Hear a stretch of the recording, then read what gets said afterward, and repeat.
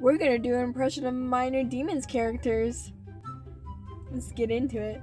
Prisoner! Why are you still sleeping? Ugh. What in the world, Ash? You were waking me up from my super hot dream. But you know what? That doesn't matter. What are you doing in my room? Your dumb cat won't leave me alone while I'm watching Saki the Sock Puppet.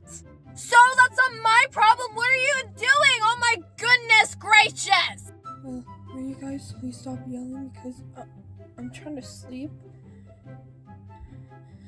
I just, I just can't. Can someone tell me why are we yelling?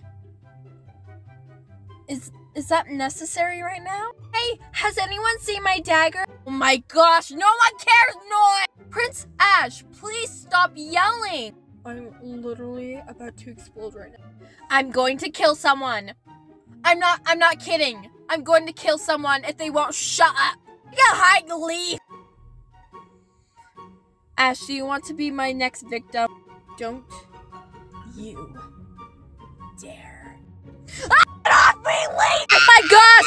Stop fighting before I freaking punch you off! Please, everybody! Just let me sleep! Me and you, Pierce! Oh my god! Oh my gosh! Leaf, get off, Princess! Um, I think I'm in the wrong fandom. Hello. I swear I'm dreaming.